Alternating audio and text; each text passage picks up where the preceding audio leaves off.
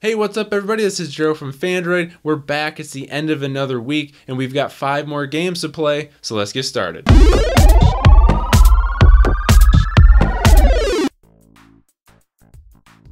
Timber West is an arcade uh, style shooting game. Um, so you're this little uh, cowboy here in the bottom, and all you're gonna do, as you can see, is you press and hold to release, which is gonna shoot the guy. So basically, you hold for when you want the target to stop, and where you have your uh, finger on the bottom of the screen is how you aim. And at the top of the screen, there's this bar, and that's basically how much time you have to shoot these guys. Oh, I just missed there. There we go. So if that bar runs out, uh, the guy's gonna shoot you. So now we're moving to the next stage here. You can slide your finger um, like back and forth to adjust your aim, but it's kind of just easier to get the right spot on the bottom of the screen. Oh crap, there we go, there we go, there we go. There's these little like money things that run around every once in a while that you can get, um, but it's hard. Oh, there we go. Oh, ran out of time. That guy got me. So you can see the basic premise of the game is to see how long you can survive shooting all these guys. This is called Timber West. Rolly Vortex is probably similar to a game you've played called Super Hexagon, uh, but this game is free and it's a ball rolling through a tube. So all you got to do is just avoid these obstacles, uh, but every once in a while there's going to be other things to avoid. Uh, let's try one more time and see how far I can get. Here we go, getting through there. Whoop. All right, that time I got it and it didn't, oh crap. Um, so that's, you know, basic idea. You've played a game like this before. It's fun, it's addictive. It's called Rolly Vortex. Got to warn you before this game, it's super addictive. I played it way too long just getting a feel for it before this video. This is called 2048 Bricks. You probably remember 2048. It was a super popular game a couple years ago where you just combine numbers. And this game is basically the same idea, but it's like Tetris. So you move around and you drop the numbers like so, and when you get the numbers on top of each other or next to each other, they combine like that.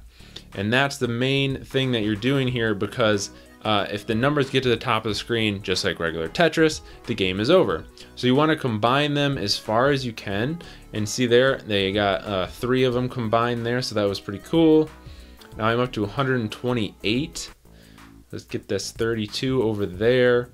And this game, you know, if you're really good at this game, you can sit here playing one level or one uh, round for a very long time. And that's what makes it addictive because you kind of just lose track of time while you're playing this, uh, like 2048.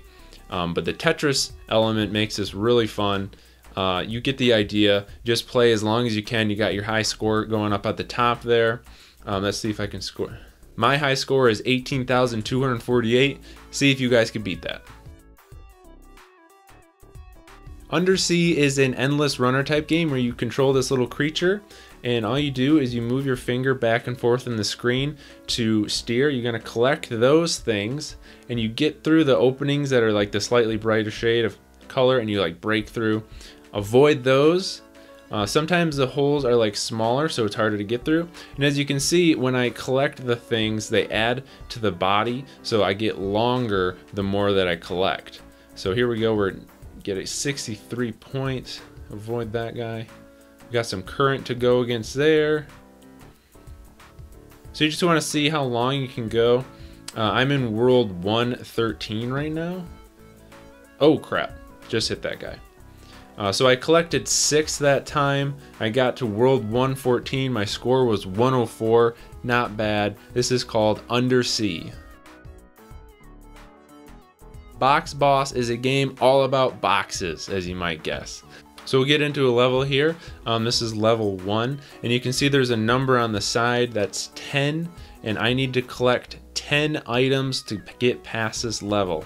So there's the uh, the box that I control and I'm on top of other boxes and here's the boxes that I need to collect. So there I got one, now that the thing's down to nine and there's other cubes that are on the screen right now and they are what I have to avoid. So they're kind of just like constantly moving across the screen. Sometimes they're gonna be in the way of what I need to collect, but all I need to do is collect 10 of these things and then I will be on to the next level. Kind of want to stay away from the edges because when the uh, pink boxes appear, uh, you're going to kind of be trapped. So make sure you're being aware of that. I got one more to go. Boom, pass that one, on to the next. Now, as the game progresses, uh, you're going to get more challenges. So now we've got ones coming from the bottom. There's going to be ones coming from the top as well. Uh, there's also going to be ones coming in other directions as the game goes on. But right now, I just need to collect these 10 boxes. And there we go, on to level 3. At any time you want like more help, you can open up this bottom area and you can use real money or watch ads to unlock things. So that's the basic idea of Box Boss. It's a pretty fun game. That's going to wrap up the games for this week. Hopefully you guys found some of these fun. If you did, be sure to give a thumbs up on this video. We always appreciate it. Check out our playlist with more apps and games and subscribe to the Phandroid channel for more videos. We'll see you next time.